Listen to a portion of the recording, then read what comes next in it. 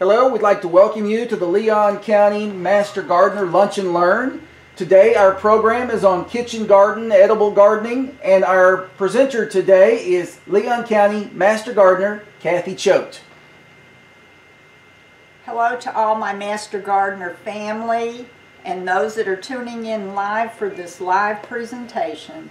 And thank you, Richard, for setting all of this up. Today we're going to talk about the kitchen garden, edible gardening.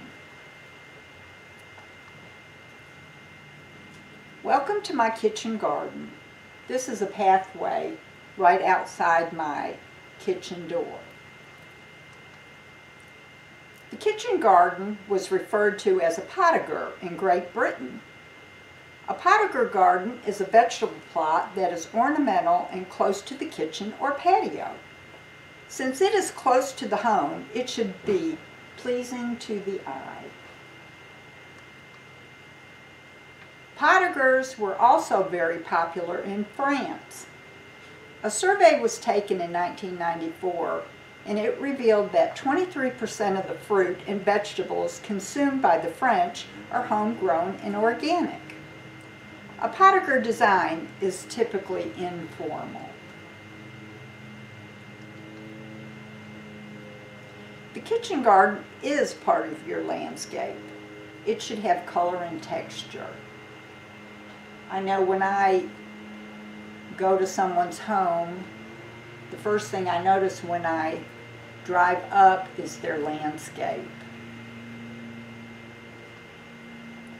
Besides color and texture, it should also be aromatic.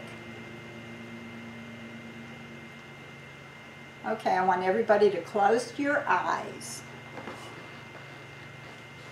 Everybody have their eyes closed? Imagine what color you would like to see first when looking at your kitchen garden. Next, imagine what you love to cook and how it smells. Nothing better than walking into the kitchen and smell home cooking. Nationality can play a big part of the kitchen garden. Being Italian, I grow Italian herbs in mine.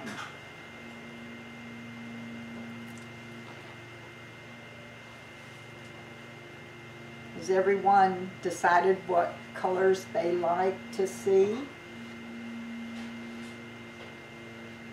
Kitchen garden should have a rich, fertile soil with good drainage. Most soils need to be amended, so be sure to have your soil tested before you get started. Your test results will give you recommendations. Some of you may already know this, but you can do a soil sample from your own garden. You can pick the form up here at the extension office with Richard. And what you do is, first of all, you fill out your sample bag. It's very important to fill this bag out before you fill it up. Then you're going to open it up and you're going to fill it up to this line and seal it. When you take your soil sample, you go down four to six inches scoop some dirt from several areas in your garden. You put it all in a bucket, you mix it up, and then you fill your bag. You fill out this urban and homeowner soil sample information form, which is available here in the extension office. It includes your name and your mailing address and your sample information. Most people want, number one, a routine analysis. This test is a base test for basic fertilizer recommendations. So by requesting this test, it'll tell you what you may be lacking in your soil to grow your best garden. Then you mail this off to Soil Water and Forage Testing Laboratory in College Station. if you happen to be over there, you can walk it in, and the address is on this side of the form. That is on 2610 F&B Road, College Station.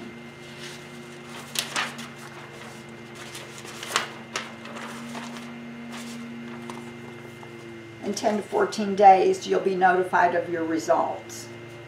If you have questions concerning the results, you can contact AgriLife Extension or visit with Richard and he'll be happy to discuss with you what you could do to amend your soils.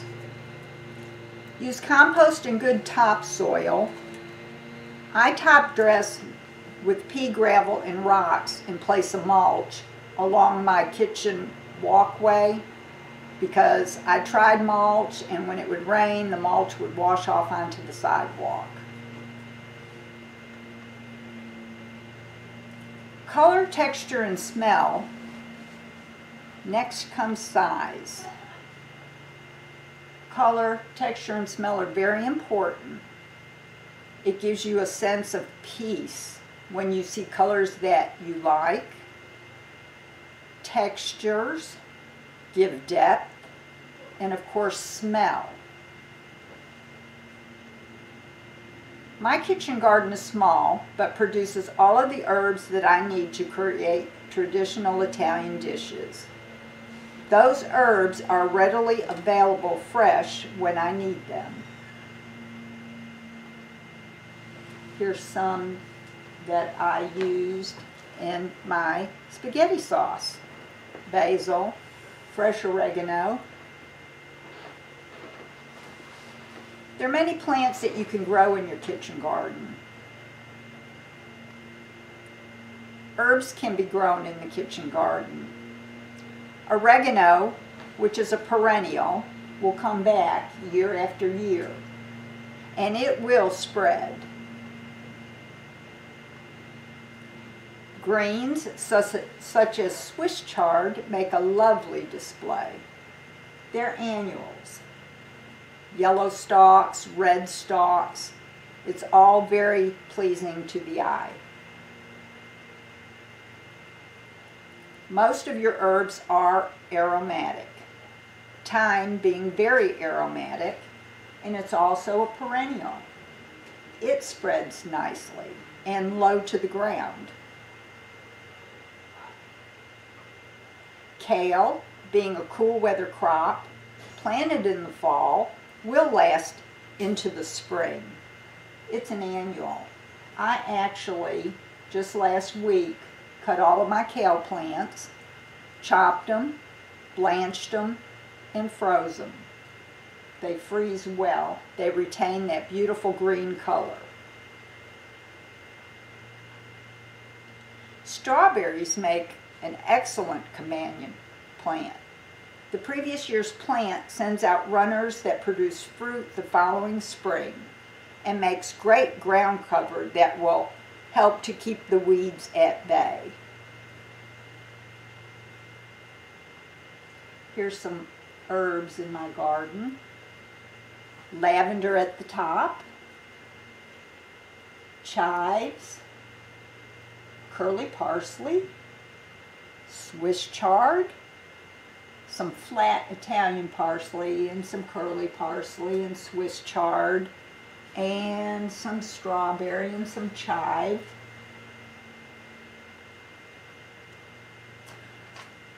Other things to take into consideration when planning your kitchen garden. Is it receiving morning or afternoon sun? Most plants like morning sun and our hot afternoon sun. Most plants love a little bit of shade. Proximity to water source and protection from frost and wind. The kitchen garden is an alternative for those that want to garden and don't have acreage for the large sprawling family-sized garden. Now I know some of our master gardeners have very large garden spreads. Besides the large garden takes time and energy, you will find the kitchen garden being small scale enjoyable, and very rewarding. Kathy, I have a question. I'm going to interrupt you right quick. Uh, Vicki Magruder wants to know what kind of kitchen scraps do you recommend adding to compost? All of your scraps, potato peelings, carrot peelings. Well, I give my carrot peelings to my horses. That's their little treat. Onion skins,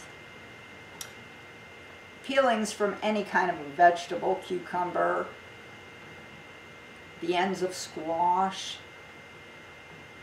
Open up your tea bags, add your coffee grinds. My compost pile is away from my house. It's down near my barn. I just keep a plastic container in my refrigerator. I put my scraps in there and then I dump it every couple days in the big bin as it fills up. Anything else? That's the only question so far. If you do have any other, if any of y'all have questions, please uh, provide them in the chat box. And as they come up, we'll ask Kathy to provide an answer for those questions you might have. You'll find the kitchen garden being very small scale, enjoyable, and rewarding. Always dream big, but start small. You don't really want that garden to get out of hand with weeds. If you're using raised boxes or containers, the soil should be replaced every season with new soil. A raised garden box is a shortcut to a plentiful harvest, using the square foot gardening concept to get the most out of your small area. You can grow a lot in a small area. You can grow vertically, plants that climb, cucumbers, instead of letting them sprawl out into your garden area and taking up space that you could plant other things.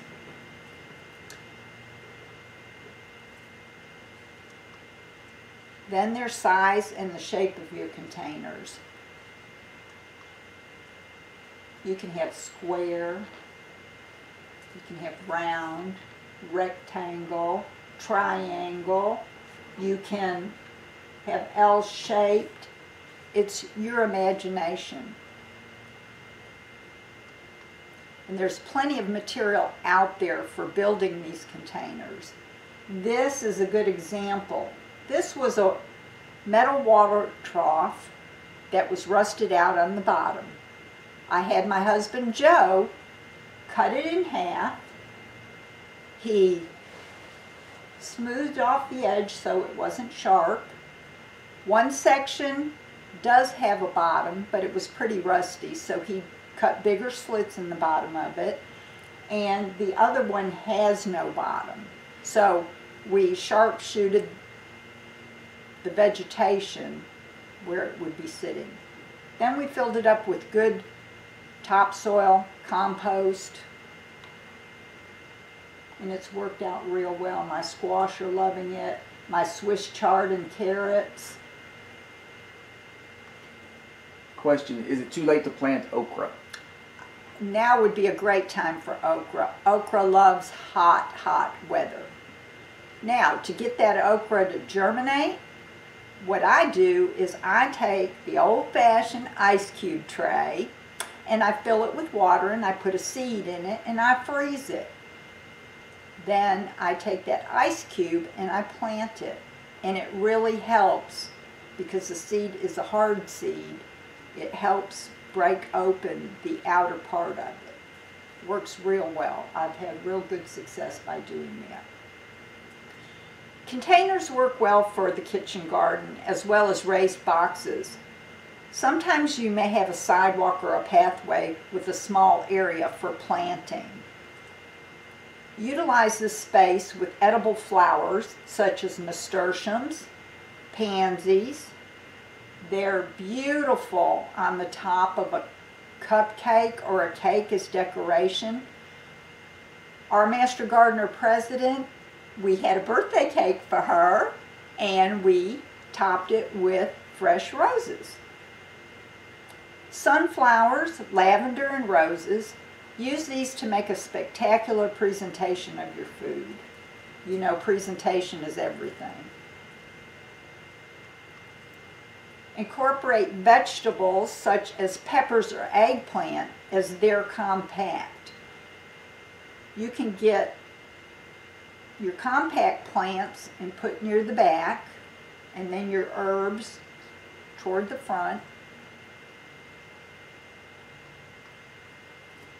How many of you refrain from planting anything because of the deer? I know I'm one of them. My husband says, Well, I don't know why you're going to plant that. The deer are just going to eat it. Well, there's a number of plants that will actually repel, and even more than that, are deer resistant. Uh, real quick, when do you plant your nasturtiums? Your nasturtiums are a spring. As soon as your last frost date, which our zone 8B is around March the 10th, into April, probably through the middle of May.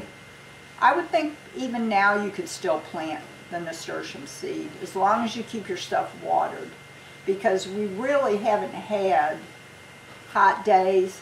Last year on this day it was 103 degrees and we're just probably in our 80s now. So I think you could still plant seeds and have success with them. Your deer repellent plants include lavender, onion, catnip, and if you have cats, your cats will just go crazy, sage, spearmint, other varieties of mint, chives, garlic, thyme, rosemary, and you probably see some kind of sequence here. These are all plants that have smell. So any and all plants that smell really help to deter the deer. I've actually planted rosemary amongst my flower beds and it's helped. These types of plants work well in a kitchen garden and also work well throughout your landscape to help deter the deer. Herbs work well when planted amongst your flowers. Deer love flowers and the herbs will deter them. With well-designed, innovative pots that water themselves, planters, and raised beds, you can cultivate a healthy, homegrown, freshest harvest just steps from your kitchen door.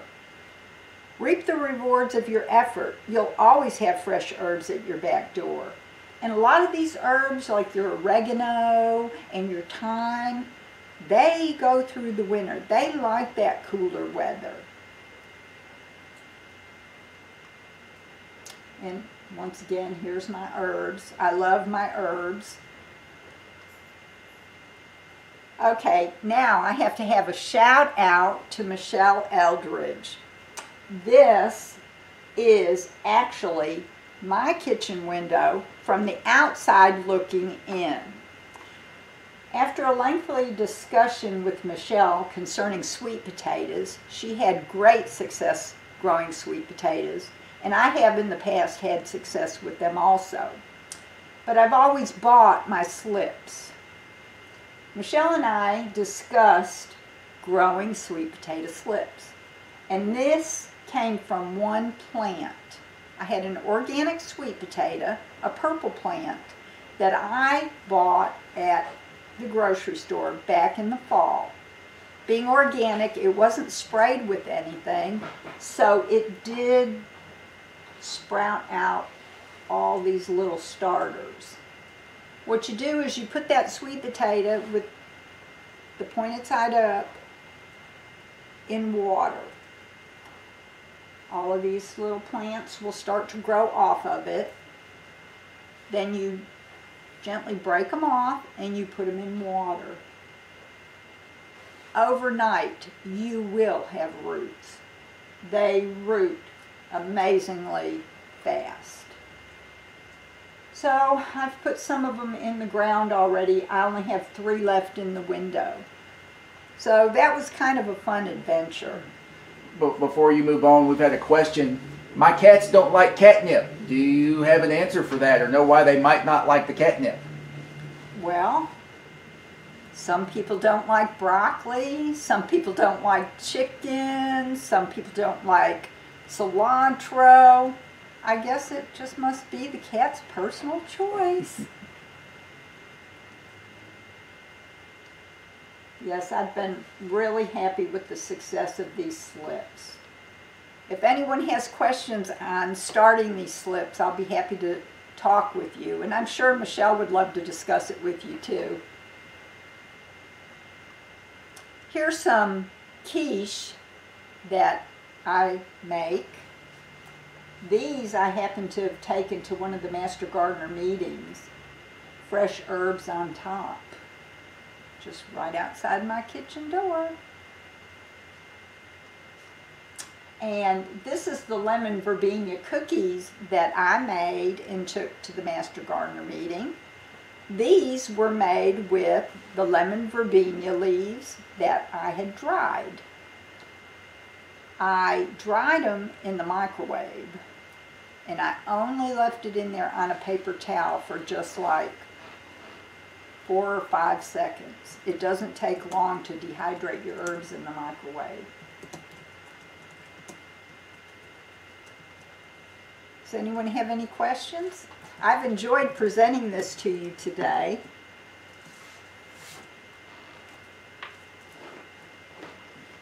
Any questions? Anybody have any questions or comments? Nothing as of yet. They're typing, I'm sure. Okay. Well, this is a great book by William D. Adams and Thomas R. Leroy. You can purchase it on Amazon.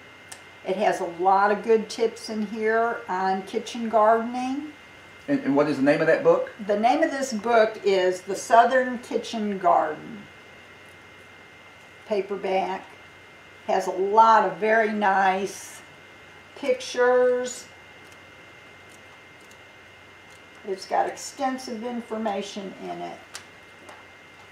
I got this book when I was in the Master Gardener class when Tom Leroy did a presentation for us. This book is very good. If you don't have it, you should order it. Here's another little neat thing. It's by Ball. And basically, it's a canning jar. There comes, comes three in the box, and I think they're about $20. You can get them on Amazon. You can get them, Walmart carries them. It comes with the directions. You can grow your herbs hydroponic in your kitchen window. It comes apart. It's got this hydro wick. The directions tell you how far to fill the jar with your water. It tells you when to add your fertilizer, which is like Miracle-Gro. It comes with the verm vermiculite, and it comes with a little small package of charcoal, and I guess that keeps it from getting moldy. You plant your seeds in there. You stick it in the window and you don't have to worry about watering it. It takes care of itself. We've had a question come in. How do you handle your herbs through the winter? My herbs are kind of protected because my garage is on one side and then of course my my home. But those perennial plants like your oregano and your thyme, your sage, they stay green all winter long. Um, your annual stuff like your basil and your parsley, you can dry them, you know, cut them all. When they say we're going to have a frost, just go out there and cut them all back. And you can dehydrate them and store them in jars. Ball also makes a little small jar for your herbs. Or you can freeze your herbs. You can chop up your parsley, you can chop up your basil and mix it with a little bit of olive oil and garlic and you can freeze it in ice cube trays, flash freeze it, and then pop those out into a Ziploc bag.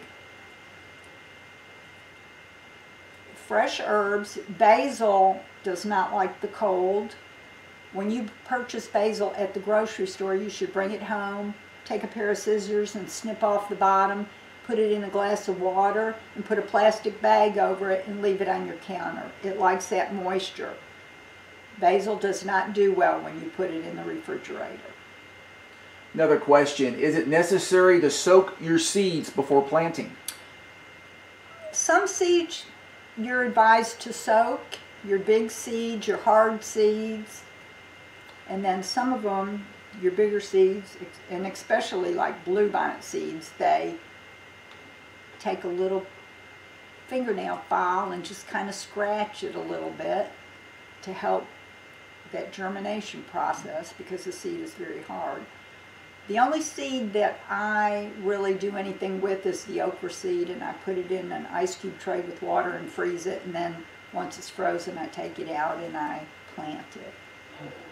Another question, should I put my lemon tree in full sun or under my patio?